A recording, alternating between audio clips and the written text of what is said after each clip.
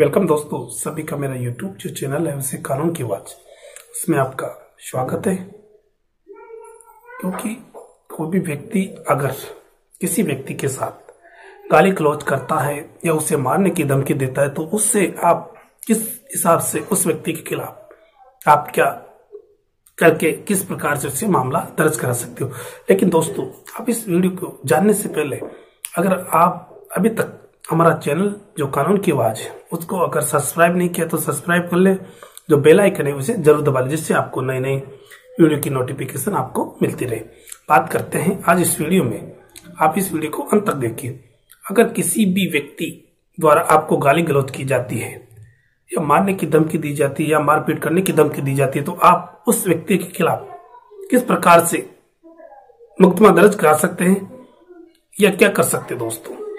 कोई व्यक्ति अगर सामने आकर मारपीट करता है या गाली गलौज करता है या फ़ोन पे धमकी देता है तो आप उस व्यक्ति के खिलाफ मुकदमा दर्ज करा सकते हैं। दोस्तों, आप ऑनलाइन भी एफ़ दर्ज करा सकते हैं और आपके जो संबंधित थाना है, उसमें जाकर आप उस व्यक्ति के खिलाफ अगर आप उस व्यक्ति ने आपको फ़ोन पे धमकी दी तो फ़ोन की रिकॉर्डिंग कर ली है तो आप उस रिकॉर्डिंग को भी वहाँ पेश करते हैं। आप किसी वकील के माध्यम से या आप खुद अगर पढ़े लिखे हो तो आप एक एप्लीकेशन लिखिए, सारी चीज़ें लिखिए, जो एविडेंस है, आप किसके सामने आपको उस व्यक्ति ने गाली गलौज कीजिए, सारी चीज़ें आप उसमें एप्लीकेशन में लिखिए। अगर वीडियो या ऑडियो रिकॉर्डिंग है तो आप ऑडियो रिकॉर्डिंग भी पेश कर सकते हैं।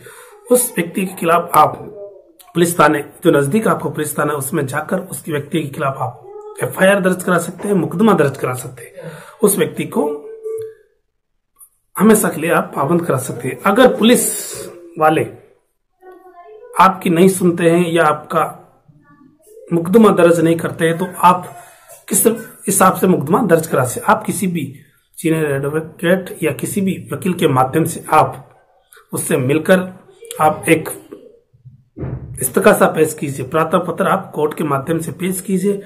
उस कोर्ट के माध्यम से आप शपथ पत्र पेश करना, सारी चीज़ें उस एविडेंस उसमें बताना। वीडियो अगर ऑडियो है तो आप वहाँ पेश करिए।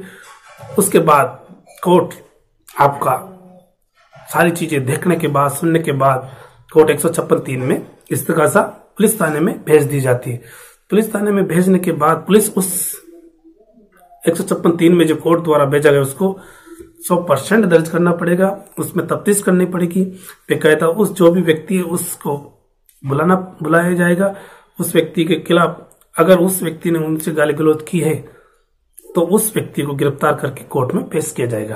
अगर कोई भी व्यक्ति आपके साथ इस तरह की बदतमीजी करता है, गाली गलौज करता है तो आप किसी के साथ बिना बताए आप पुलिस थाना जाइए। पुलिस थाना नहीं सुनने के बाद आप एसपी के पास जा सकते हो। एसपी भी नहीं सुनने के बाद आप डायरेक्ट किसी वकील के माध्यम से कोर्ट में केस फ़ाइल कर सकते हैं। दोस्तों अगर ये वीडियो आपको अच्छा लगे तो इसे अपने दोस्तों के साथ शेयर ज़रूर करें और आगे से आगे शेयर करते रहे। क्योंकि किसी भी व्यक्ति के साथ अगर इस प्रकार की घटना होती है तो आप डायरेक्ट उससे लड़ाई झगड़े करने के बजाय आप इस प्रकार कानूनी कार्रवाई से आगे बढ़े, जिससे भविष्य में अगर आप पढ़े लिखे हो तो इस प्रकार की केस की अड़चने ना आए।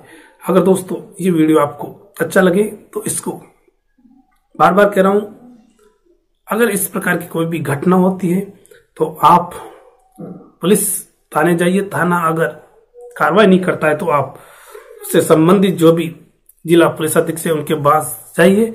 अगर वो भी नहीं करता है तो आप डायरेक्ट किसी वकील के माध्यम से कोर्ट से केस फ़ाइल करा सकते हैं और उस व्यक्ति के खिलाफ मुकदमा दर्ज करा सकते हैं और उसे हमेशा के लिए पाबंद करा सकते हैं। दोस्तों, अगर ये वीडियो आपको अच्छा लगे लगे तो इसको एक बार ज़रूर लाइक करें। Thank you.